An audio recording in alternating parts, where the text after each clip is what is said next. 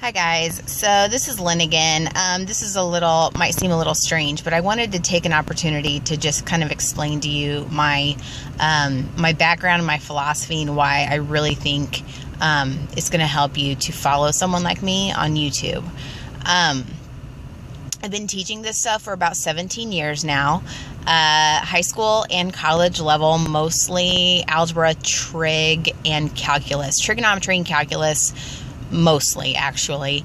And I have um, I've taught in an organized like organized formal education setting obviously in a high school classroom in a college classroom but i've also done quite a bit of one-on-one tutoring and this experience has has given me a few insights and the one thing as a classroom teacher i saw firsthand the the topics that really tripped up students, that really, even just the teeny tiny little concepts that would really get people tripped up. So I know where those are, where those happen, so I know how to kind of um, alleviate that, getting tripped up on things like that.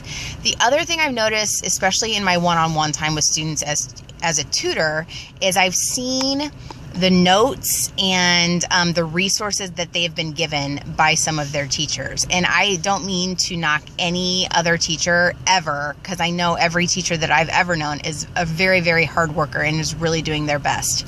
However, um, I feel like with math, especially, it often gets kind of glazed over the importance of relating mathematics, which to most people is kind of a foreign language, right?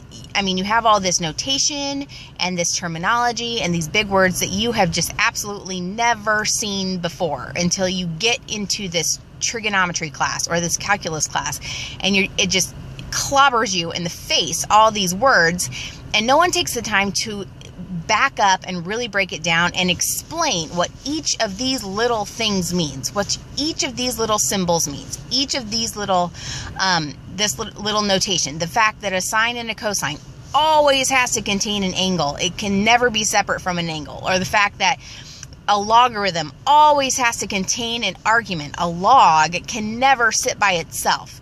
Little things like that don't often get explained in a classroom, whether it's a teacher who um, tries to teach directly out of a textbook, which oftentimes isn't very helpful, or sometimes um, you have a teacher who is just working really hard and is really, really knowledgeable in mathematics, but just has a really hard time relating it to students who don't necess- don't understand the language, and um, so I really feel it's so important for me to break down in these little videos and I try to keep them short. I try to keep them about 5 minutes to really break down each little nut and bolt that goes into the trigonometry class or the calculus class. So you can the stuff that gets glazed over in class, you can brush up and look at these videos and say, "Oh, that's what that means." Oh, okay.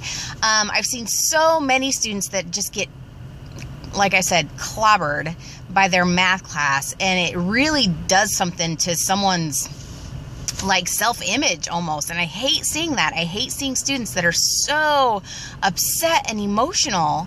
Um, you know, because of their math class. And it doesn't have to be that way. It doesn't have to be that way. If you had someone that was really, um, you know, felt passionate about really helping you understand it, it is learnable. I promise you, this stuff is learnable. You just have to find the right resources.